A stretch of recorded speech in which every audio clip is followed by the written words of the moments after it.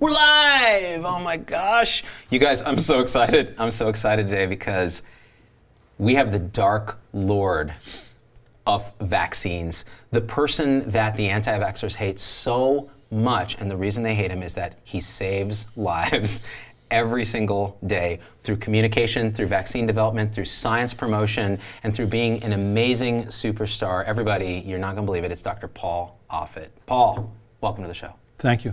Now, I got to say something. I got to start at the bat. We spent about five minutes talking to each other. Getting, we've never met. I've been a fan of yours since 2010 when I made my first vaccine video, and I Googled. Eh, actually, I want to tell that story later about how I was vaccine hesitant after my kooky neighbor. This was in the Bay Area. Was like, you know that vaccines are associated with autism, man. And I just had my kid. And I was like, wait, what? I'm a hospitalist, right? I don't vaccinate babies. And I'm like, wait, wait, wait, wait, wait. I went down a Google hole and I saw a very attractive woman by the name of Jenny McCarthy telling me that uh, I was killing my baby by giving vaccines. And then I saw a, a less attractive woman uh, named Paul Offit, who happened not to be a woman, saying, no, no, no, no, no, here's the science. And it was your persuasion that made me look at the primary data and realize, okay, I get it now. Not only are they safe, they're effective, they're one of our great advances. And so, having you on the show today, I want to talk to you with our audience about how we can better communicate. Because you have a book that came out that I had the pleasure of reading before it came out, and I the whole time I'm turning the pages, I'm like throwing feces because I'm so angry or excited, and that's what I do because I'm a monkey. And I was like, this is a handbook. It's bad advice. Why celebrities, politicians, and activists aren't your best source of health information. It's a handbook on how we can better communicate in a sea of Gwyneth Paltrow's, Jenny McCarthy's, Donald Trump's, the science denial all around. So let's start with why are you such a shameless shill for Big Pharma? Because, you know, I saw you pull up in an Uber that looked like a Honda Civic, and I'm like, that's a lie, all right? Um, I'm not a shill for Big Pharma. I, I, was fortunate enough to work with the team at Children's Hospital Philadelphia that developed the strains that became the bovine human reassortant rotavirus vaccine RotaTeq, um, which was licensed for and recommended for use in all children in this country in 2006, and then for the world by the World Health Organization in 2013. I mean, the the um, only pharmaceutical companies have the resources and expertise to to do that, to do the research of development. So, wait, wait, wait. So, so, so Logan Stewart in the back there in a meth lab. Can't just create a RotaTeq uh, rotavirus vaccine. It's a little hard to make hundreds of millions of doses in your lab. Uh, you don't know Logan. All right, he broke bad in like 1992. this guy's had a lot of practice. So, so I think this point of like, yeah, you have to work with a Merck to make a vaccine that's scalable to actually get to lots of and the people. minute you do that, you're a bad guy. You are. There's there's no way to answer that question. I'm, I'm asked that question. I was asked that question by Matt Lauer on Dateline NBC. I was asked that question. That by, guy's a pervert, by the way. By Steve Colbert. Stephen Colbert. Less of a pervert. Question. I mean, yeah. it's and so you know you're. Um, the, the, the, minute your name is associated with a pharmaceutical company, you're, you're, you lose. Now, the, the truth of the matter was, I was always funded by the National Institutes of Health, but, but the fact of the matter is, I was, the, I was a patent holder on something that became a vaccine. Now, now, now I'm the intellectual property of my hospital, therefore the hospital really owns the patent. But it, Yeah. it does. You get tired of explaining it. it. It never convinces anybody anyway because you worked with a pharmaceutical company, therefore you're evil. Wait, wait, wait, wait, wait. Look. Look at this. It's an anti vax protester. Oh, is that what we got? yeah. Wow. You know what's amazing? Wow. So, see, this is. This is amazing. Really? You can't see them in the, on camera. Can't so, see 'em. guys, guys, Z-Pack. Wait, that's really true. Yeah, there are This actually. is not a, not a joke, Paul. This is not a joke. Not there a are actually anti vax activists outside the window right now. And now they're gone because Tom turned them off. This is what we want to talk about too. You hear him? Yeah. What is he saying exactly? I can't. I don't know, but Tom's going to make sure that uh, the door is locked and also that Logan's gun is cocked. I'm going to. You hear him? Yeah. Yes. Z yes. Dog! So, Paul, let's get into this because I think this is fascinating. Because you created a vaccine in partnership with a pharmaceutical, right? You're now a target of parents who think that we're causing harm with vaccinations. You spend 25 years of your life developing a vaccine that saves lives. That, that saves, I think it's been estimated, hundreds of lives a day because rotavirus kills children. You do this. You're a passionate advocate for scientists. You're for science. You're a pediatrician. You're a good human being. You're a lovely introverted person who, in five minutes, I, I loved talking to, and you get this as a reward. Why? Well, it, it's. I think um, I'll give you a story. When, I, I, I, was asked to speak once at um, to a group of legislatures in, in New Haven, Connecticut, Yeah. and, and after I was done speaking about this, about whether or not vaccines could cause autism, a woman came up to me who was the mother of a child with autism and Yeah. just started screaming at me Yeah. at the top of her lungs, screaming. And it always gets to me. I never get so thick-skinned that this doesn't bother me. It bothers me. It's screaming, like these guys are bothering me. Yeah. Um, and and the, the state senator who gave me a ride to the to the train station to go back to Philly said something I'll never forget. And it's true. She said, "You know, you've gotten to the center of things when you meet the very best people and the very worst people." And I think that's happened to me. But but I also have had the good fortune to meet some of the very best people. I mean, people like like you, people like Peter Hotez, who's the father of a child with autism, who has who deals with the financial and emotional burden of that, and still puts himself out there. I know Sharon Humiston. I mean, uh, Amy Pisani, Kirsten Thistle. I mean, there's so many good people out there trying to do good things for all the right reasons, and I had the good fortune of being able to meet them. So I think I'm lucky. I think I'm lucky in all this. You know, I, I love the way that you are able to, to, to bring positivity out of what is a very challenging situation because, you know, I read your book and there are stories in the book that are really uh, dramatic about how you've been trailed and harassed in public, um, threatened with death threats. How many confirmed death threats were there? Three. Three confirmed. Now, one of the things you taught me in the book, which I had to learn because I get, I get death threats through, too, um, is in order for a threat to be considered credible, it has to be um, it has to be specific. So like this is how I'm going to kill you. It has to be repeated more than once, and it has to have some plausibility. Was that the third? It has to be a, a person who, who the FBI thinks could do it. I see. Uh, it's sort of like a paranoid schizophrenic. Right, so someone who's a little bit off, like this guy, who then could theoretically do that. So I think Tom's speaking to the police right now because Great. we are trying to do a show, and luckily, Logan is armed. So just so they know that, um, because we're in Las This Vegas. is an open carry state. This is an open carry Great, state, and Logan great. is a uh, Logan is, is it was raised from very young, learning gun safety and and and uh, hunting with his dad and that sort of thing. So, in the book too, you talk about kind of how we've, as scientists. Your first chapter is like how scientists are just terrible communicators. Like you, you, one of the funniest things in the book, and the book is very funny, by the way. And and I remember you'd ask me, "Is it funny at all?" I'm like, "Dude, it's hilarious." Like me and my friends are laughing because you said the difference between a scientist who's an introvert and a scientist who's an extrovert. A scientist who's an introvert stares at their feet when they talk to you. A scientist who's an extrovert stares at your feet when they talk to you, and that's spot on. That's spot on. And so, how is it that someone, again, like yourself, who is deep in the science, 130 publications on vaccines, how is it that you're able then to become a communicator in a way that puts yourself in this kind of space? Um, for me, it was on the one hand, I think I saw how hard it was to make a vaccine. It was a 26-year effort, uh, ending in a prospective, placebo-controlled, uh, 11-country, um, four-year, 350 million dollar trial to prove that a vaccine wasn't what it was claimed to be, and and and so that it was safe and effective. So while that was happening, I also watched how how I could how hard it was to make them. At the same time, I saw how easy it was to damn them.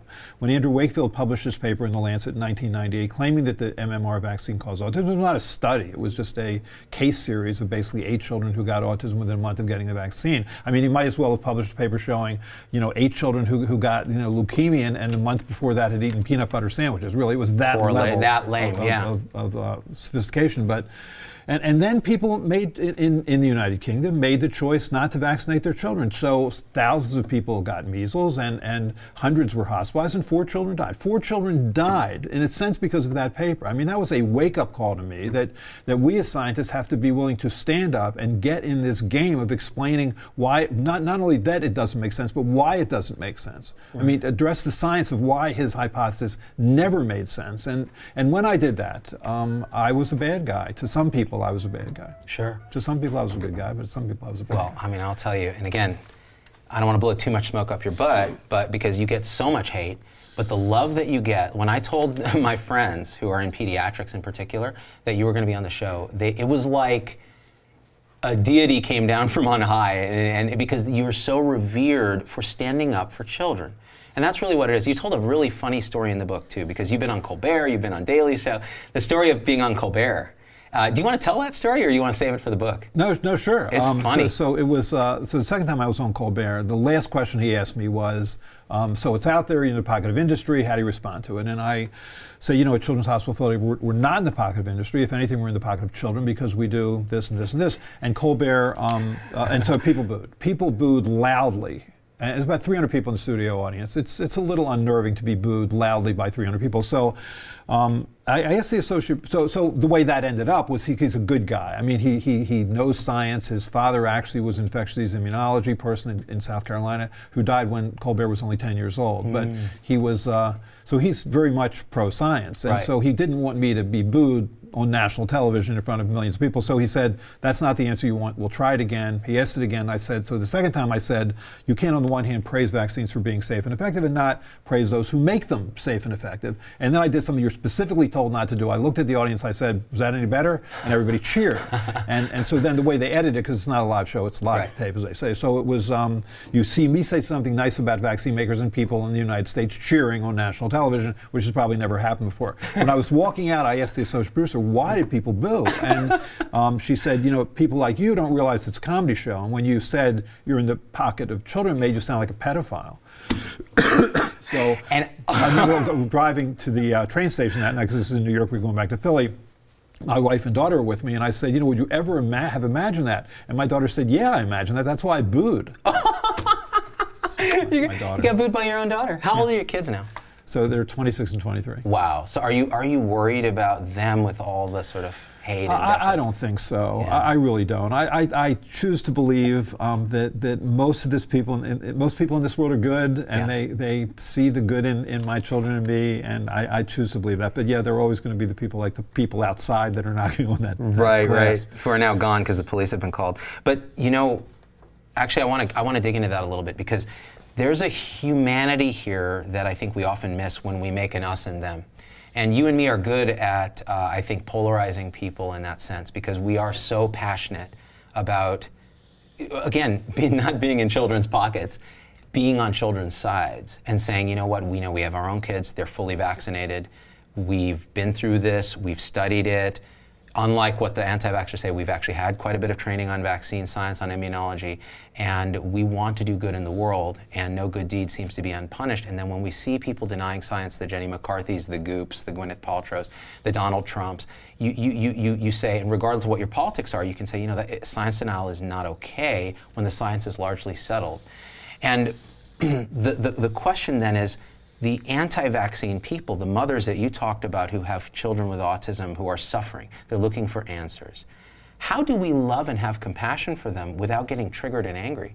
Because even in your book, you said at one point you lost your temper and you got angry in a debate, and that was a bad idea. Yeah, I, I, I guess uh, I feel an enormous amount of sympathy for, for parents who, who you know have to struggle with I think difficulties of a child who's on the spectrum. I hmm. think that's true. I think it's emotionally burdensome at some level. It's financially burdensome. I get that, and and I think people want answers, and there aren't answers. I mean, there aren't clear. There isn't a clear cause. There isn't a clear cure. So it's really frustrating. And hmm. I think the sympathy that uh, what makes me most sympathetic is that I feel I feel like they've been duped. You know that people like Andrew Wakefield or Jenny McCarthy have duped them into thinking that that this is the answer. That that vaccines were the answer, and therefore if, if they don't vaccinate their future children, that they, they won't have to suffer this, and that if they try and figure out, you know, what they can do to sort of detoxify whatever it was that toxified their children, like chelation therapy, which you know some people offer, Right, that or that- bleach that's, enemas That's, that's or- right. yeah. and that's going to make them all better. And it's just, I, I feel they've been duped. I, I feel enormously sorry. I, I had to speak. Um, at a Bryn Mawr uh, library a couple nights ago, and, and there was a woman who actually drove up from Baltimore, and she really wanted an answer. I, she wasn't angry. She, she felt that her child had gotten a vaccine, actually a DTaP vaccine. It had been hurt by that vaccine, and now he's autistic. And can't we just do something to find out what happened? And, and I, I talked to her for some length of time, trying to explain to her because she felt it all happened within minutes of getting the vaccine, Right, which just doesn't right. make biological sense. Right, right. How it's, it's I don't think. but it makes emotional sense, Paul, No, right? no, I know. Yeah, It- it's, yeah. That's what Jenny McCarthy says. My Yeah. child got the vaccine, and within moments, quote, the soul left his eyes. Right, know, right, Vaccines right, don't work that fast. Right. Um, but you know, it's you want to you want to help her. You do want to help her, and the only way I can think to help her is to say, I don't think this is it. I, I don't think that the vaccines are your answer. You know, so. But but what but you know it's I mean the- I make the analogy for example for type one diabetes in the 1800s. Type, no one knew what caused type one diabetes, so there were all these sort of wacky kind of causes and wackier cures, and, and then Banting and Best discovered insulin in 1921, and all that went away. And I feel like we're always going to be living with this until we have a clear cause or causes for what is autism or autisms, and have something more that we can offer other than behavioral therapies, other than long-term therapies, which is not terribly satisfying. People want something to make it go away, and I think people like Andrew Wakefield or Jenny McCarthy or Gwyneth Paltrow offer those kinds of magic cures, and, and mm-hmm. it's seductive. It is very seductive. I guess one of the things, because you, you'd actually uh, donated proceeds from one of your books to an autism foundation. Is that your foundation? or? Well, so I, I was one of the founding advisory board members of the Autism Science Foundation. Allison it. Singer runs that foundation out of New York, and it's just a great foundation. I mean, it's the only th- autism foundation with the word science in the title, and Yeah. and they really try and, and understand largely sort of the genetics of autism Right. and. And, and, and that will help. See, I think that will. What I love about Allison Singer actually, so she has her eldest daughter is autistic and fairly severely autistic, and and, and so she she now has created. She devotes all her energies to, to what is clearly a long term solution, if it's to be a solution at all. Yeah. So so what are the genetics? I mean, what gene or genes are expressed early in the first trimester? The, the developmental genes that, that could explain the, what, what we see as autism, because you do know that at least first trimester environmental factors, like for example thalidomide or mm. rubella, natural rubella infection, or valproic acid, an anti-seizure drug, increases your risk of autism. That's interesting. What's happening then, and that's you know what what gene or genes are affected by the, these environmental factors, or, or or just genetically involved. I mean, it's- uh, paternal age is clearly a risk factor. I mean, when Donald Trump has a child on the spectrum and Robert De Niro have a, has a child on the spectrum, it's because they were roughly 60 years old when they had their children. Hmm. That's probably the reason. And so, hmm. what is the genetics of that? That is understandable. It's not going to be a single gene like cystic fibrosis or sickle cell disease. It'll be multiple genes, so it won't be easy, but I think it's understandable. See that that to me is is um, is the is one of the great tragedies of being on this goose chase with vaccines, which we've shown time and time again. Again, the multiple studies you predicted back when this started that studies would show that this wasn't the case, and that proved true. Now, so much effort in in parents' communities are spent, you know, thinking about vaccines as a cause when it's all those things you talked about and probably much more that, that are leading to uh, diagnoses of autism. One of the one of the one of the big controversies that comes up is autism an epidemic or are we diagnosing it better? And where where do you kind of fall on this as a pediatrician? I think we certainly have far more awareness. I mean, what used to be sort of primary autism has become autism spectrum disorder. So it's a much broader range of activities, and we're certainly more aware of it. And I do think there is, an, uh, we are older when we have our children now as compared to, say, when my mother and father had me when they were in their 20s. Um, Right.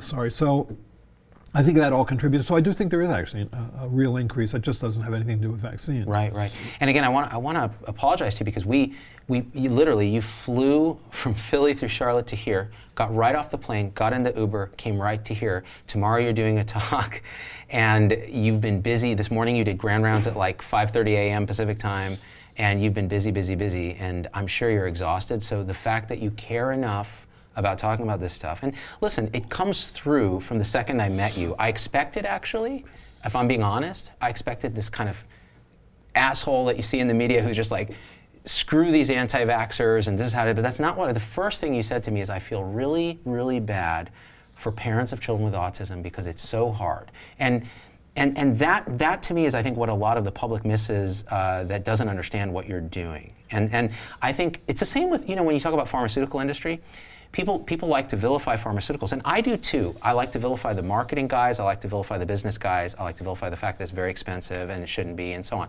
But, but the people on the front lines who are doing the research, working with the pharmaceutical companies, are heroes. It's plain and simple. And every time I've talked for them, I've said, you know what, you guys, you know what you're doing. Every day you're trying to help human beings. You're trying to relieve human suffering. And, and this is the goal. Now, the question is how do we better communicate what we're doing to the public when you have celebrities who are very good at communicating, who maybe even have good intentions? Like, I'm not sure Jenny McCarthy has had evil intent doing this. I mean, Wakefield, I worry about. I, I feel like there's something going on whether it's like a narcissism or some ego thing. And, and I think you might have mentioned some things in the book, some speculation about what you might think, but we, we can't know because we can't know another person's mind. But how, in the book, I think the main premise of the book is here's a manual for how we can be better at communicating without getting so emotional, but without ignoring emotion because it's important. You know, when those guys are banging on the door, I started getting emotional. I started saying, you know what? Let us speak. This is your chance to talk to people. And why would you shout somebody down? It means that you're so emotional yourself. You're suffering so much. Think about the kind of suffering that that guy has. If you really feel what he feels, he is so angry because he thinks we're harming children. So I can actually have a kind of cognitive empathy for that and understand that. But the question is then, how do we transcend that and actually better connect with these folks? And I think the book is very good at that, but I want to hear what your thoughts are. I think you do the best you can. I mean, you, you, you, you when, when I speak to parents, which is almost daily, they call me on the phone, I try and understand what it is that concerns them about mm. vaccines and then try and explain how there are, and invariably are studies that sort of address that concern and, and to do it in a, in a compassionate and passionate um, and, and empathetic way. And, and, you, you do the best you can, realizing that there are people who will see you as evil. I mean, there were, there were a few parents actually uh, that were anti-vaccine people, parents a couple nights ago at, at that Bryn Mawr Library. And, mm. and the, the, I have an enormous amount, it's easier for me, I guess, to feel compassion for people who aren't screaming at me and telling me I'm an evil person. Right. You just lose it. Or the person who puts a camera in your face and, and you know, and doesn't tell you they're filming you. I, that, it just it's up, that's upsetting because it's not fair. I mean, I, I, just, I think as I think, I think we are going to know much more about science and medicine hundred years from now than we know now. There's no doubt about the fact that we have much to learn, but there are things that we do know. I mean, specific germs cause specific diseases. We can prevent those diseases. I think raising the question, you can argue at the best case scenario, Andrew Wakefield raised the hypothesis: Does the MMR vaccine cause autism? That's an answerable question, yeah. and it's been answered again and again and again in 17 studies in seven different uh, countries on three different continents involving hundreds of thousands of children and costing tens of millions of dollars. The, the, the public health and academic community responded to that concern. What upsets me is when people don't realize that, when they say, well, it's just all, it's just all a conspiracy to hurt children. So, Paul, I think what, what it is there, and this has been my experience with this, is that there, we, we have this paradigm on the show, you've probably heard of it, the elephant and the rider. So the elephant is our unconscious limbic emotional system. It's pre-wired, it's, it's, it's some of its genetics, some of its conditioning, some of its education, some of its religion, politics, etc. And then we have this little rider, our cortex on top, riding on top of the elephant. And that's the one that's supposed to do science and be rational and be persuasive and, and use words. Use your words, you're talking to the rider um, when the elephant's stomping. I think the issue with some of the anti-vaccine sentiment, and the reason it's so intractable, is that their elephants really innately distrust uh, government, industry, et cetera, and that's for whatever reasons they're conditioned to, to feel that way. And there is an element of like, well, whose fault is this now that this has happened to my child? I need something to, to, to peg this on. And that's their elephant. So when you present data, well, look, here's all the data that says it's not vaccines they move the goalpost or they confirm their bias with data that, that is not well done and that says, well, maybe, maybe, maybe. And any little thing, they'll go through it. Confirmation bias, all the logical flaws we talk about. Now, they are human beings. We expect them to do that. How do we combat it, though? How do, because we know, we know from the data, because we, we can be a little more dispassionate about it. And they'll accuse you. They'll say, well, you're a shill for pharma and you're getting paid for it, so how can you be dispassionate? Well, there are millions of pediatricians, thousands of pediatricians around the country who are not getting paid by pharma, who lose money on vaccines, who believe so strongly in it because they've looked at the same data. And, and actually, this is, a good, this is a good chance for me to tell my quick story. Again, because this show's all about me, Paul. Even though I'm Paul, I'm like, let me tell you about me, Paul. So, in 2009, I'm just about to launch ZDogg MD Industries. Uh, it's as a cry for help for my burnout. I'm making videos to try to draw attention to the suffering we have in healthcare as caregivers. And my neighbor, we have a fence that's about this tall. It's, it's, in California. He comes over, he's a financial planner, very, very intelligent guy. His wife's very intelligent, lovely kids. He came up to me and said, You know, I know you're about to have a baby. Uh, actually, it's mine in 2007, but you're about to have a baby. Are you going to vaccinate the child? Because I heard all this stuff that, like, the vaccines now, or MMR in particular, is associated with autism. And I said, I hadn't heard that actually, because I, it's just not something that ever came up in my practice, because I take care of adults. And um, I graduated med school in 99, just when Wakefield's paper was coming out, and I, I didn't see it.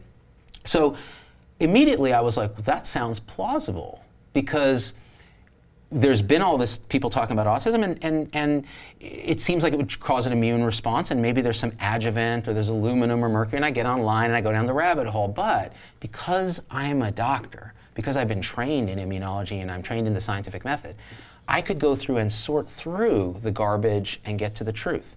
And some of it is going to make sure I know credible sources, understanding the methodology. And I was able to answer the question, which is nope, they've shown it's not the case.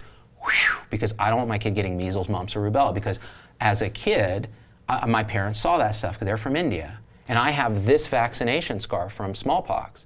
And I, I, I, I think we can prevent this is one of the great public health triumphs of our era. So that's how I came to it. But how does someone without those tools come to that decision? Do they have to rely on a Paul Offit to write a book? How do we do this? So I think it's I think it's fair to be skeptical about anything you put into your body, including vaccines, and and, and it's easy to see where this comes from. I mean, we ask uh, children and ask parents in this country to um, vaccinate their children in the first few years of life with vaccines to prevent 14 different diseases, which can mean as many as 26 inoculations during those first few years of life, which can mean as many as five shots at one time to prevent diseases most people don't see, using biological fluids most people don't understand. I think it's perfectly easy to understand how we got here. I mean, you didn't have to convince my parents to be vaccinated; they were children of the 20s and 30s. They saw diphtheria as a killer of teenagers. They saw polio as a crippler of, of, of young people, including mm. young adults. You didn't have to convince me. I was a child of the 50s and 60s. And so I had measles, I had mumps, I had rubella, I had varicella. I knew what all those diseases felt like. But my children who are in their 20s, they don't see these diseases. Now, they didn't grow up with these diseases. For them, it's a matter of faith. So I think it's Yeah. fair to be it's fair to be skeptical. That's okay. Mm-hmm. And and so so now you're, you just you want to be reassured that, that this is still necessary, that all these vaccines are still necessary. And and and so then how do you get that information? This is the hard part because because if, for example, I'll have someone who will call me up and say, look, I've done my research on the chickenpox vaccine and I've, I've decided not to get it. But, but what do they really mean by research? What they really mean is that they've looked online and mm-hmm. read people's opinions about the varicella vaccine. Mm-hmm. I mean, what you really should do if you want to be, have an informed opinion about the varicella vaccine, roughly read the roughly 300 articles that have been published on the varicella vaccine, which would require an expertise in microbiology and vi- virology and epidemiology and statistics, which most people don't have. And frankly, most doctors don't have. Yeah, that's So- true. so what do they do? I mean, they rely on those advisory groups that at least collectively have that expertise, collectively have read those articles, and make recommendations which they think is in the best best service of the children in this country, like the Advisory Committee for Immunization Practices to the CDC or the Committee of Infectious Diseases for the American Academy of Pediatrics. And those groups have served us well. But sell that message in the 21st century. Trust us, we're experts, we know what's good for you. That doesn't work. so I think you have to give people, uh, as best you can, the information they, they need to try and help them sort through this stuff, sort through what they're reading on the internet. But at the very least, it seems to me, you know, that if you're looking on the internet, I, I can tell the difference between sort of good sites and bad. Like, first of all, the good sites generally aren't selling things like cures for autism. Like Deepak Chopra's weird, like radio camera thing for meditation. you know, right? some uh, something that'll rearrange the ions in your brain you know, to make your autism go away. This Right, is this right. would be a clue. So trying to sell you something, but then they'll say, well, but you're trying to sell me a RotaTeq vaccine, Paul. So what's the difference? Well, what would you say to that? Well, I mean, first of all, I don't sell it. Merck sells it. I, I don't make a penny off of the sale of the RotaTeq vaccine, so we're good. Um, I, I, I w- have not been compensated in any way for that vaccine for, for the last 10 years, so it's Got I'm, it. I'm out. Got it. But early on, you probably had licensing fees or inventors fees. Um, Well, yeah, so I, I'm, a, I'm the intellectual property of the Children's Hospital Philadelphia. they own me. Um, therefore, Oh, right. they do the deal with Merck. Therefore, they get the money from Merck. Got uh, it. And then, then I am part of their patent policy, so I get a certain percentage of that money. And if you want to know what the percentage is, it's the, the three inventors, me, Stan Plotkin, and Fred Clark, uh, split 10%. The hospital gets 90%, we split 10%. Got it. It's That's the what typical happens. devil's deal you make with academics when you, uh, right. It was, it, the, the, the, the, the motivation for doing the work on the rotavirus vaccine and the reward from doing from doing the work on the rotavirus vaccine were never financial. I mean, it was it was uh, it was great. I'm, I'm I'm happy that things are a little easier for my family, but that certainly wasn't the, the reason to do it. Uh, because who does it for that? I mean, who goes, goes into science and thinking, God, if I can just figure out which of these two viral surface proteins evoke neutralizing antibodies, I can be rich. I don't think people think that. They shouldn't because they're they'd be idiots too. They would be idiots. There are much easier ways to get rich. Really, really. A, a blo- a blockbuster statin would make you a lot, Yeah. much more money. Launder money for Russian oligarchs. I've done that. It's very lucrative. That's how we paid for all this opulence you see right here. Well, but so that gets me to the point. So people who do things for money, Dr. Oz, Um, how do you feel about these guys, the Oz's, the Chopras, the, you know, the Dr. Phils, et cetera? In your book, you mention them in passing, saying when they say something that's you know kooky, people tend to listen. When we say stuff, everything's met with questions. Yeah, I, th- I think what, and I think Dr. Oz does say some good things about your health. So I'm not trying to, and he certainly is a mainstream doctor. I mean, he's he's a cardiovascular surgeon at, at, at, Columbia. He's a full professor in the division of cardiovascular surgery. He, he puts people in heart and lung machines and heart, holds their hearts in his hands and fixes them. So he certainly buys into mainstream medicine. I think what they do, and it, it, this is the part that bothers me. I think. I think that medicine is uncertain. It is. We, we are going to know more in the future than we know now. There, we only know so much of the puzzle when we're asked to make a decision. I think if you ask people, are we going to know more about your health 100 years from now. I think everybody will say yes, but when it comes to their disease, they want to believe you know everything you need to know right now, even though you don't. Yeah. And I think what, what, what Chopra does and what Oz does and what Andrew Wakefield does is they, they're gurus. They're Yeah. sort of all knowing. It's what I call in the book sort of the, the Bones McCoy seduction, right? I mean, but the, you know, the chief medical officer of the USS Enterprise had his tricorder. He just scanned you up and down and he looked, and that's what you had. And there's something very reassuring about that. I think that's what makes Andrew Wakefield so reassuring. He's, he knows that this is true. He knows the MMR vaccine caused autism, even though study after study has shown that it, that it doesn't. That's reassuring in some ways. I get nervous anytime someone says they know what the problem is. And whether, you know, it doesn't matter who it is, even if I agree with them. Like if Bob Lustig says sugar is a toxin and he's absolutely certain about it, then I have to sit back and go, could it maybe not be a toxin? you have to question these things, even if they're right. And I, I think I think that's I think that's the main thing. I, you know, someone like Chopra, like he's from a spiritual side, sure, let him do his thing. But when he starts talking about you know, cortisol levels and things like that, he, he says it with, again, with a certainty that then it, it fools us, actually, because we're looking at, as much as we hate authority in this space, we want authority. And what I've found is I think people want to know what would you do for your kids? And so what I do is, I, just the other day, I took my two kids, uh, 10 and 7, to Target, and we got flu shots. And what lit the fire under me was the story of the first flu death in a child in Florida uh, last week. And we went, I videotaped it, I put it out, it got a million plus views. Probably 30% of them were from rabid anti vaccine people who were just furious that I was poisoning my children. But the rest of people were like, oh, I didn't realize it was so urgent.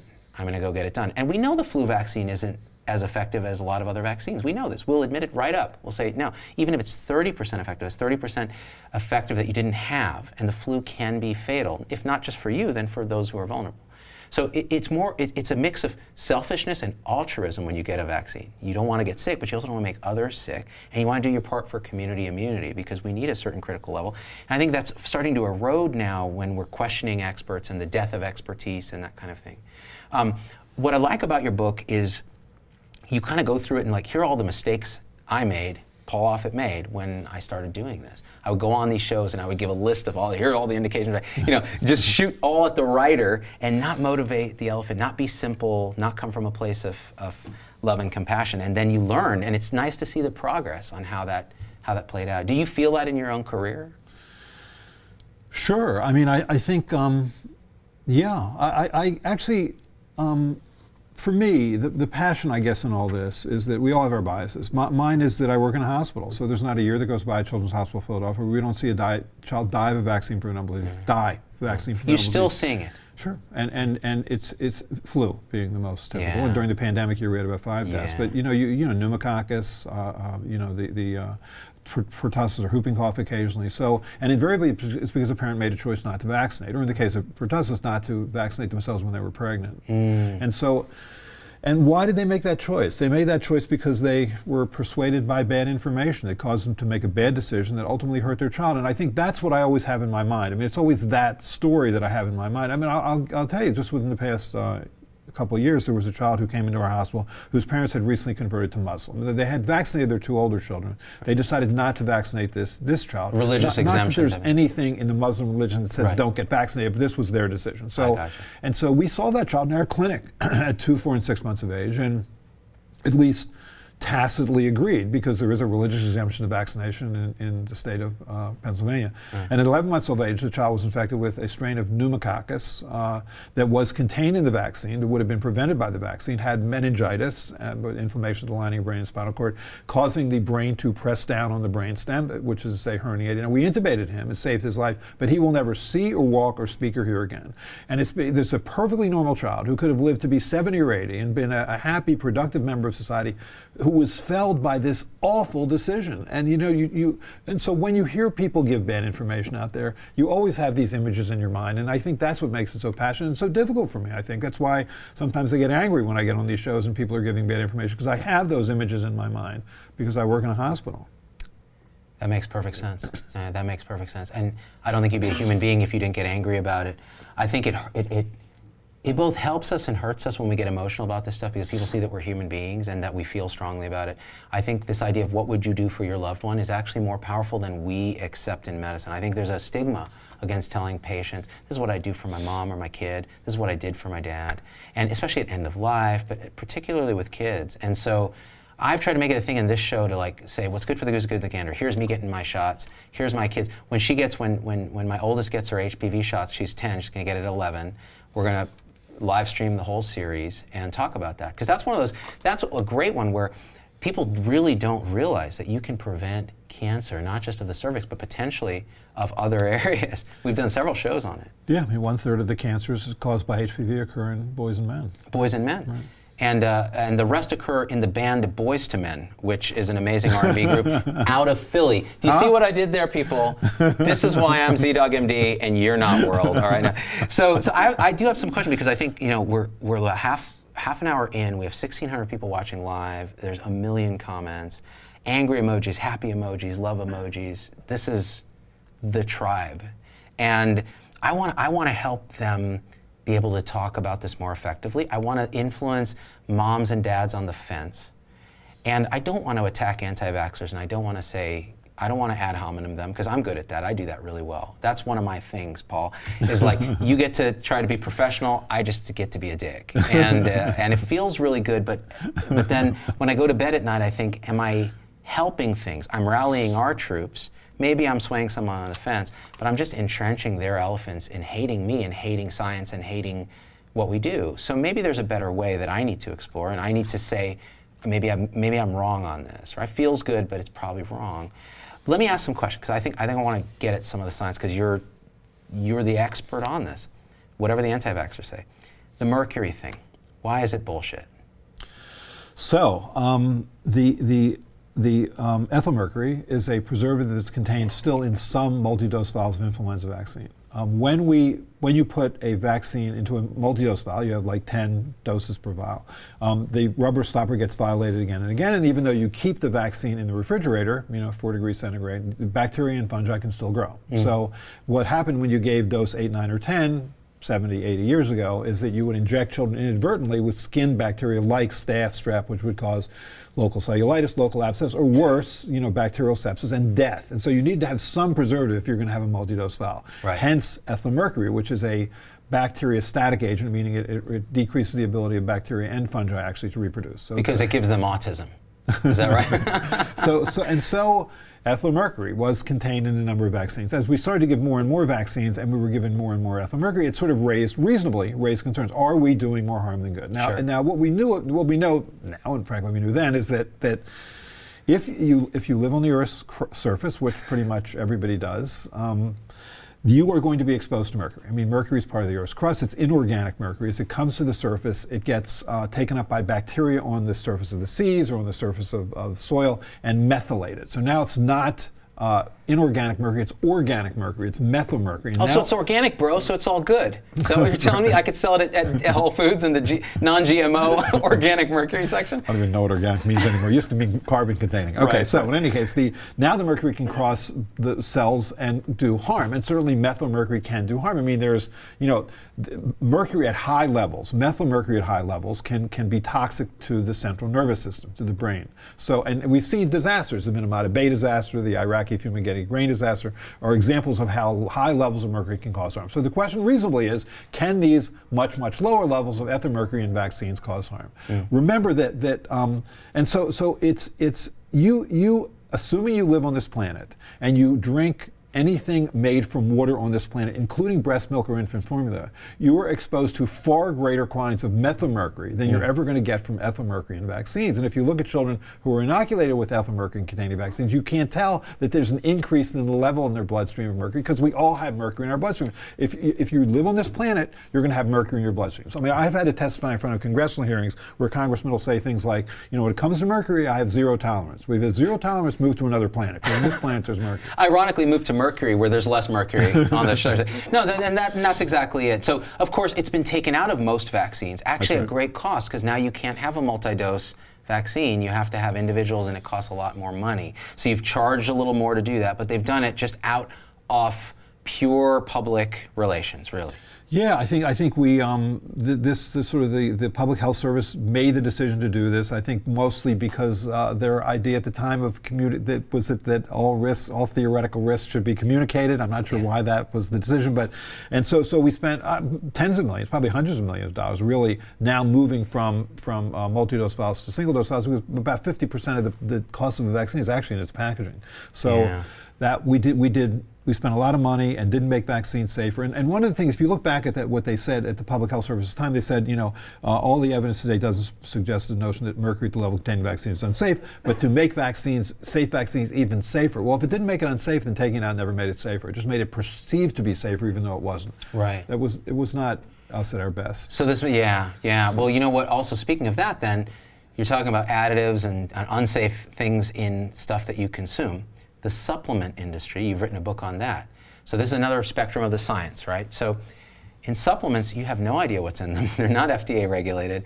Um, and yet, people would sooner take a ton of supplements than vaccinate their child. Explain the sort of thinking there. What, Yeah, it's a sort of magical thinking. Uh, It's the notion that the, the that when you that first of all the supplement, as you say, the dietary supplement industry is not regulated by the Food and Drug Administration, uh, not in any effective way because they don't have the manpower to do it, and so therefore you don't know that what's on that label is actually what's in that bottle. You don't know whether it's made under good manufacturing practices. So we've dealt with that at our hospital. I mean, I'm the head of the Therapeutic Standards Committee, so we deal with this all the time. What do we do? I mean, the Joint Commission of Hospital Accreditation said, you know, if you're going to give this, you have to record it and you have to store it and you have to give it. So we did that initially, but then we realized somebody say wants to give their child selenium 40 micrograms a day. So we would write the order out and we Right. would give it. Well, first of all, we didn't know it was 40 micrograms. We didn't even know whether it was selenium because we don't know because it's uh, we feel like we were, be, we were participating, frankly, in a fraudulent industry, and so we stopped. We Yeah. stopped doing that, and now you have to sign a form that we're not going to give it. If you want to give it, you can, but realize we don't know what's in it. It may interfere with other drugs you're getting in this hospital. But you're right. I think people walk into the store and they think this is somehow much more natural. You know, this is being made by elves and old hippies on flowering meadow sides, and you know, this is it's only going to do good and can't possibly do harm. Which Right. is true of nothing. I mean, Right, if something nothing. has a positive effect, it can have a negative effect. That's always true. But somehow this industry manages to skirt that.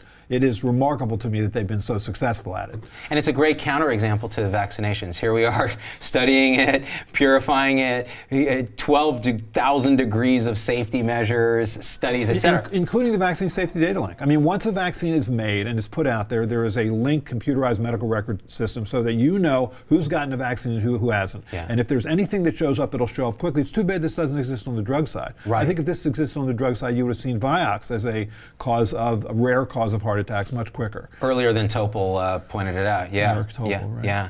Eric's my homie, by the way. I like to name drop Paul because, like, you're a famous dude. I'm like, Paul, you know, me and Eric were chilling the other day, just talking about Vioxx, and uh, but so so yeah, so supplements. But then here, here, related to that, what's wrong with our media? Why is our media not portraying science in a way that is helpful to the public? Because in the book you talk about that quite a bit. Everything from false balance to the idea that they like clickbait titles to you know, I mean, wh- what's going on with the media? I think for the most part, the media doesn't portray science at all. I think it's sort of dropped out of. Uh, it's very. The CNN has, has, I think, dropped its science and technology sec- section. The Boston Globe, which is at the heart, in many ways, of the biotech industry, has dropped its science and, and says now it's like a health section. So. Um, I think generally it's not portrayed, but you know, the, the, the, the conflict of interest, if you will, is that the goal is to sell advertising, and you sell advertising if you're interesting. It's much more interesting if it's controversial, and and it's a man bites dog story. Yeah, and, and it's frustrating because I feel like here we have a platform. You know, there's uh, 1.6 thousand people watching. This will get a ton of views when it's done. These are engaged people who can comment in real time, can ask us questions. Way more elderly die from not being vaccinated and being exposed to influenza than from vaccine-caused deaths, says Jenna Smith Sanders. So people can leave. They can leave their feelings. In the media, I feel like. Um, you know, the physician voices are glossy and they're soundbited, and maybe that's what the public needs, but I don't think so. I think the public wants to hear doctors talking about this stuff honestly, like they were that's why what you do is so important. I think because you are a great communicator. I mean, it's but it's so rare. Think about how rare it is. I mean, that for doctors to do the kinds of thing you do. We're not trained to do it. We're generally not good at it. It- it- We're used to, you know, because the scientific method really doesn't allow you to ever prove never. We tend to always sound like we're waffling or worse, covering something up. I mean, it just doesn't come off well. You know, it's funny because you see, I- I- in the old days, I would have thought, well, you're just blowing smoke up my ass, Paul. But no, you're absolutely effing right. Doctors are the worst. And every time I get one on my show, I fear that the show's going to be a disaster because they are. They're so, they'll pull back. They, they, they, they're very reserved. They're worried about their professional appearance. They're worried about saying the wrong thing. They're worried about taking too much risk in what they say, and it comes off as they're hiding something, or they're waffling, or they're not being transparent. Right. And my job, which is hard, is to try to pull them out. With you, see, it's interesting because even though you're an introvert and you're a scientist, you've done this enough now that you give of yourself truth that comes out of you. And whether you disagree with it or not, if you're an anti vaxxer, you're going to disagree. But it is authentically you, and you can tell. You're not holding anything back. You're not, you know, prevaricating. That's a fancy way of saying lying. It's an SAT word. Thank I looked it up. And, uh, and, and so I think that we need more Paul Offits in the world communicating science. Bill Nye is a great example of a great, He's, he's great. Great science communicator. Um, Neil deGrasse Tyson, I think, is oh, great. he's amazing. But you gave a great Dawkins. you gave a great example in the book of, of a Neil deGrasse Tyson f up, where okay, uh, it was um, uh, uh, Titanic.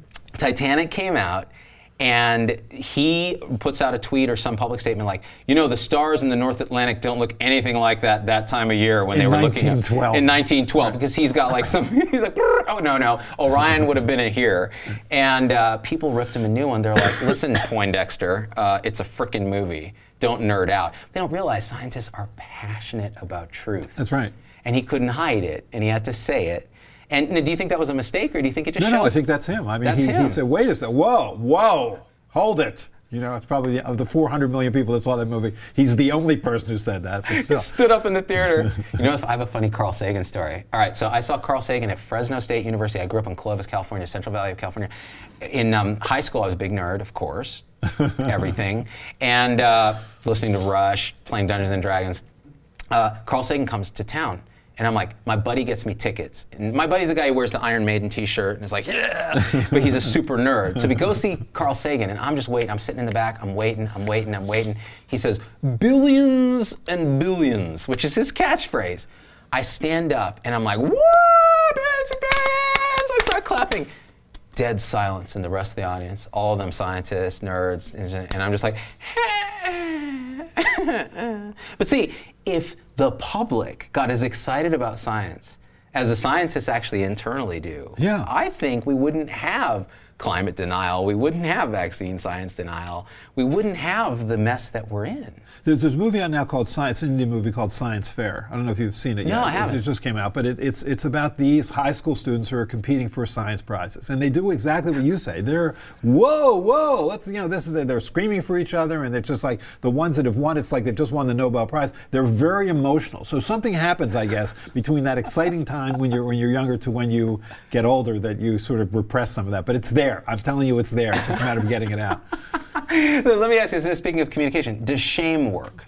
Is shaming somebody for not vaccinating, is that an effective strategy? No, I don't think so. I, I think I think you, you have to understand that it's really hard to watch your child get so many shots at once. It I know. doesn't make sense. I mean, here your child's two months old and they're getting five shots, and, and for what? For, for polio? I mean, uh, uh, is there still polio in this country? Diphtheria? How many cases of diphtheria? Is it tetanus? I mean, it's really hard to watch that. I get it. I get how, how you you you're sort of put off by that.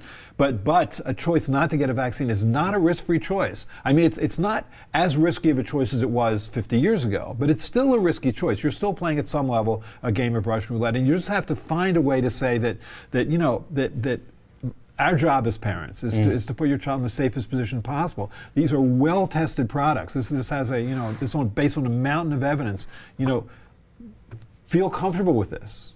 Try. Let's find a way you can feel comfortable with this. But I get, I get the pushback. Yeah. I, th- I think we do need to re-explain ourselves. I mean, you didn't have to explain vaccines to my parents. You didn't have to explain, explain vaccines to me. I had most of these diseases, you know, and I had polio. But I was, you know, I was born with club feet actually, and was in a polio ward when I, after following surgery uh, when I was five years old. So I certainly remember what polio looks like. Yeah. And, yeah.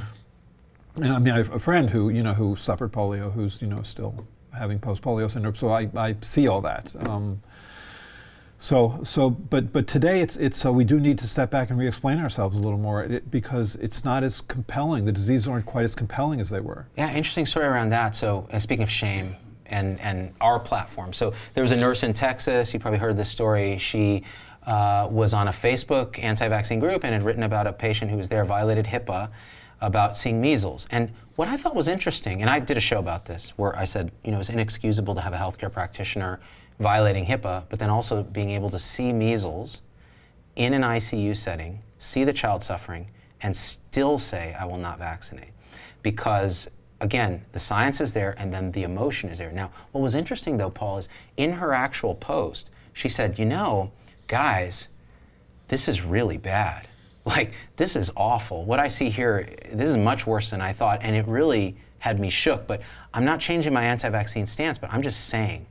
And I feel like that was very powerful, actually. But it's, it's interesting, isn't it, that, that this surprises her at some level. Yeah, it does, Whoa, of this is really bad. I mean, when Jenny McCarthy says, uh, you know, I'll take the frickin' measles every time, as if it's the choice between getting a measles vaccine and risking autism or getting measles, which she sees as benign, it tells you that not only have we largely eliminated measles from the United States, we've eliminated the memory of measles. I mean, measles makes you sick. I mean, 50% of people who have measles actually have abnormal chest x-rays. They may not have clinical pneumonia, but they have abnormal chest x-rays. I can tell whether somebody has measles in 30 seconds based on how sick they are. Yeah. Um, and they call old people like me down to the emergency department when kids come in with fever and rash because I'm so used to, I've- I saw so much measles, you know, training. How, how, how comfortable are you with your own immunity and titers that uh, uh, hang around measles kids? Well, I had measles. Oh, you had it? Yes, I mean, I'm, I'm of an age where I likely, I was born before 1957. Oh, got it. So you cheated and got measles. so you're saying, so okay, I'm just going to go on record here and say, Paul Offit says have a measles party, everyone. That's how you need natural immunity. What's wrong with natural immunity? Chickenpox party.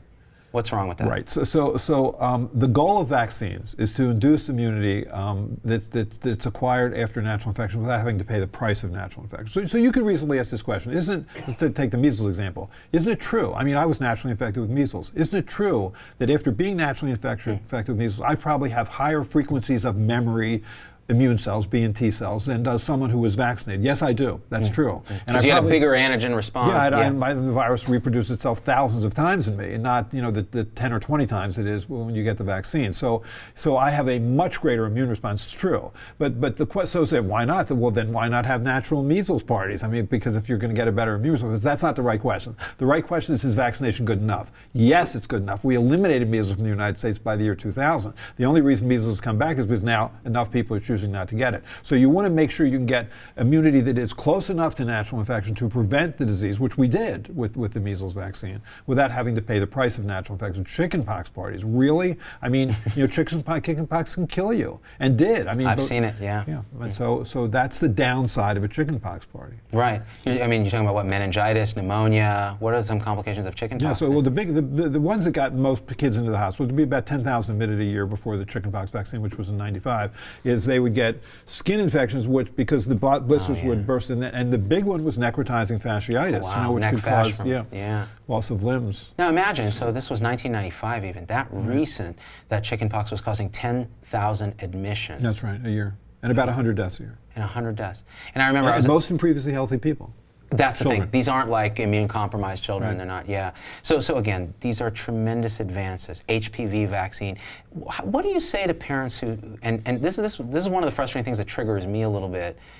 And again, I should be less emotional about it, but I, I'm not that guy. I'm not a great scientist. I'm more of a emotional communicator, and I love medicine and I love people, and, and there's, there's love, but not.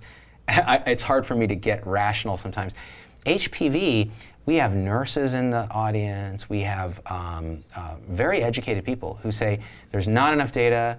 It causes terrible side effects. There's these girls in wheelchairs now, and I'm I believe in vaccines, but I don't believe in this one. What do you say to that? Well, first of all, it is the most studied vaccine post licensure. It's been formally Thank studied in more than a million people. And so that's number one. Number two is if you had to ask the question, which vaccine preventable disease kills the most people, the answer is flu. And so there's, you know, the, the last year in the United States, we had 80,000 deaths from influenza and, and almost 200 in children, um, most previously healthy. So, so that's number. What's number two? HPV. HPV, the current vaccine, the, the HPV 9 vaccine, Gardasil 9, will prevent 29,000 cases of cancer every year and 5,000 deaths a year. That 5,000 deaths is more than all other vaccine preventable diseases, with the exception of flu, combined. Yeah. Sorry. No, no, that's okay. Take a take a break, man. You've been talking a lot. You just got off a plane. I'm gonna grab some comments here while you're doing that. Um, what again was the death rate with measles before the vaccine? Brandon Leo says. Right. So, so before the vaccine, there were about three to four million cases a year, U.S., 48,000 hospitalizations, about 500 deaths. 500 deaths a year of children. Think about that. That's a Primarily life. children. That's a life that doesn't happen. You talk about quality adjusted life years. When when a child dies, it is 80 years of life, quality of life, weddings that are lost. Right? It's not like we're talking about a 75 year old person getting a Shingrix vaccine and not getting shingles, which is still important because it can be debilitating, but it's a very different thing. Um, let me see here. Uh, Bonnie says, "Bless you and your integrity." No, My wife's name's Bonnie. That's Maybe it's Bonnie. name. No, it's not Bonnie Offit though. It's Bonnie Heaton. I would stack it with, with family too. Um, I don't think she knows that I'm, I'm, I'm, this is live. I I'm not sure she knows this one now. So. oh yeah, that's probably for the best because the live comments are. These are actually really good comments, Paul. Like. Um, Thank you, Dr. Paul Offit. So sorry to hear about your experience in a polio ward and having clubfoot. Thank you for sharing, Kelly. This is the thing, Kelly. Like, you know, I think one thing we don't do well as doctors is humanize ourselves. I think a lot of times we're supposed to be these superhuman, detached agents, brains in vats that say "Uh, vaccines are safe and effective, and people go, I don't resonate with that because that's not how we're tribal creatures. We don't have somebody in the tribe who's the Poindexter who goes, well, according to my data, and no one's going to believe that. So that's why I like, you know, I really like, and this is the thing, I got to be full disclosure here. Paul did not ask me to talk about this book. He sent it to me as a courtesy so I could read it, and I loved it. And um, I loved it so much that I think, actually, and, and here's my honest feedback I think it's great for lay people, but I think it's even better for medical people because medical people can go through and they go, God, when I have to deal with these questions, I get so triggered. How do I deal with it? Here's a great way to think about it. And it also really, I think it puts into place how celebrities are damaging our understanding of science. It's really damaging public health. And they may not be intentionally doing it. People like Robert F. Kennedy Jr., like this guy's a lawyer. What is he talking about vaccines for? Uh, he has the World Mercury Project. I think he's trying to drum up business for a class action lawsuit. To be perfectly honest with you, he's um, he is of counsel to the law firm of Morgan and Morgan, which is a big class action litigator. And so maybe He's wagging that's the dog. Maybe that's. I don't know. I, I, I, I don't get it. I mean, it's it's fair to ask the question. I mean, Mercury's never going to sound good. It's not like there's a National Center for the Appreciation of Heavy Metals standing up in defense Sorry, of Mercury. sorry, you're absolutely wrong. Heavy metal rocks, and Freddie Mercury is the shit. All right, number next, Paul. Yeah. So so so um, he, I mean, it's, again, it's fair to ask the question. I mean, wait, you're injecting children with mercury? What? Uh, And so and so, fair enough. And and it has been answered now in, in seven studies, and it's exactly what you would expect, given that they we're exposed to far more mercury. There's more mercury in this than you're going to get in vaccines, but not in that. Um, Okay, good. Mine's clean. All right, it's just Um, because you backwash, because you're a mercury factory, Paul, because you work with vaccines for so long, you're tainted. Yeah. So, so Robert, Yeah, so so so and so and so the studies have been done, and so why isn't he convinced by that study? It's it's okay to be skeptical. I just when you cross the line into cynical, that's when you lose me. you said that in the book. I thought that was great. Skepticism is important. It's part of the scientific process. Right. Exactly. Skeptics is a good thing. I mean, I'm here actually for the, the Center for Skeptical Inquiry. It's a group of skeptics like Richard Dawkins and Steven Pinker and Steve Novella. I mean, these Stephen Fry. I mean, these Oh are man, I want to crash that party. How come I never get invited? Come on, come I'm, on over. I'm so skeptical. I'm too skeptical to show up. I'm like, I don't know about these guys, man. so, so, so skepticism is good, but cynicism is bad. This idea that everybody's out to hurt us, there's a big conspiracy. Look, money is is a big driver in healthcare. We talk about it on this show all the time, trying to build health 3.0. You're in the academic silo, Paul, so you see part of it, but the true dysfunction out in the community is so hurtful that I think until physicians are able and, and frontline healthcare staff are able to overcome their moral injury of practicing in a system where they feel like they're causing harm deep down, uh, gonna, it's going to be hard for them to advocate and find the time to go on the news and talk about these things, you know? Be better communicators. They're hurting themselves, you know, they're inside, they're hurting. So this is, this is a real problem, you know, they call it burnout, it's moral injury. And, and I think it hurts even more when now our patients question everything about us in a cynical way. So skeptical is fine. I love it when patients question what I'm doing. Right. Because I feel like then here's a chance for me to explain and make make sure they know my thinking because that's shared decision making. As opposed to, I don't trust you, man. You're probably paid off by a big pharma, bro. And so, you- so you've lost. You've and lost, So you, yeah. You've lost. There's nothing you can say because you're all part of the. You're part of the conspiracy. That's right, And the so- chemtrails. And so you bail. Um, and so, so I, I bail on those. I say, is there anything I can say that will help you with this? And if the answer is no, then why have the discussion? Yeah. I, I mean, this was a, there was a, a person who sort of confronted me at this meeting a couple of days ago. I mean, I, she asked a question about aluminum, and so I was trying to explain about the, how aluminum works. How aluminum is the most abundant light metal in the in the on the planet, and we're exposed to aluminum in a variety of ways. And so here's how: is, is if you're injected with aluminum versus if you ingest aluminum, how does that all work? And she just wouldn't believe me. And, and after a while, I just said, "Why are you asking me Mm. Yeah. questions if you're not going to believe anything I say? What's the point Yeah. other than to torture me?" I think- was the point. I think her elephant was really she knows what it believes, and no matter how you try to persuade her little rider, it's not. It's going to reinforce what her elephant believes. And this is a struggle, Paul, because we're human beings and we evolved not to seek truth, but to seek validation in our social tribe. We, we, we, we seek persuasion in our tribe because that's how we survive. We can transcend that, though. That's the beautiful thing about being human. We have the brain structure to actually go, no, I'm better than that. I can take a space. Whether it's just meditating, whether it's paying attention, whether it's working on yourself, whether it's going to therapy, we can do that. And that's where I agree with like people like Deepak Chopra. Where they're good at being a guru is where they say, you know, we should just step back and say, let's look at ourselves. And so there's some beauty and truth to be found in all these sides, even in, the anti-vaxxers, because at least they have forced us to question things, confirm what we know through science, and then bring it to the public. And so for that, I'm grateful, I guess. For the rest of it, they can go to hell. You know, I, I think I think that if there was not a formal anti-vaccine movement, there would always have been an anti-vaccine sentiment. I mean, the fact of the matter is, is you you aren't compelled by the diseases in a manner that I was compelled by the disease, or my parents were compelled by the disease. So I think that would have had to have happened. That hmm. people would say, "Wait, why are we giving all these vaccines? I don't even see these diseases anymore."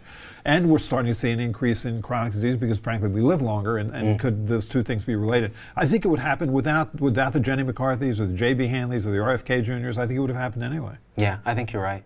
We got a little hater here, Lynn Waldrop. You are not evolved, nor do you meditate.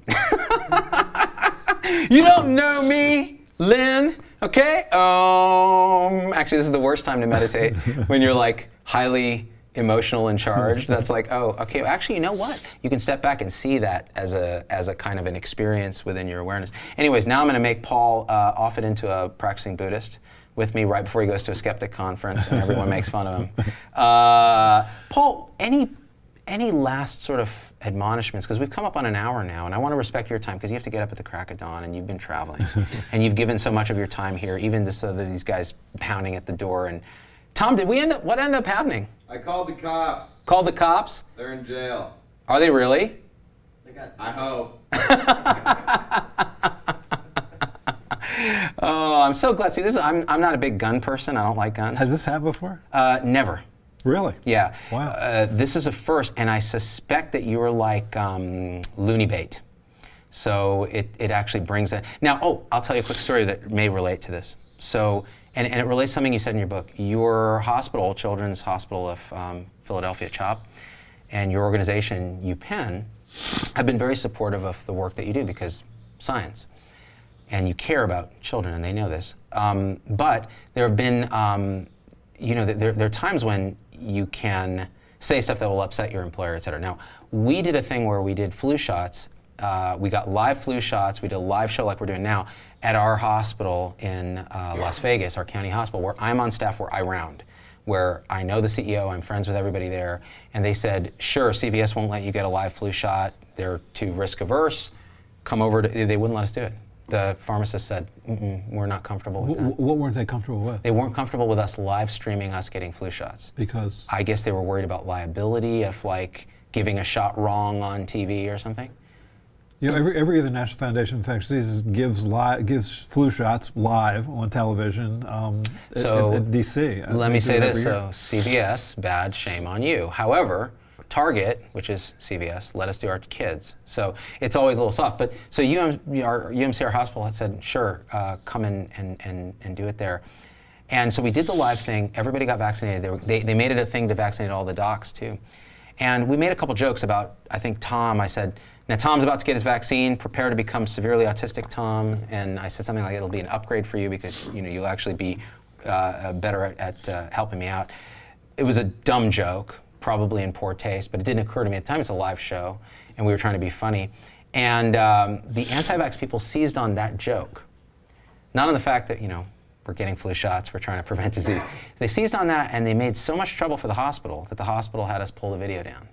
I never pull videos down, Paul, ever, ever. And I did it for my hospital because I love and respect them, but I still think it was cowardly.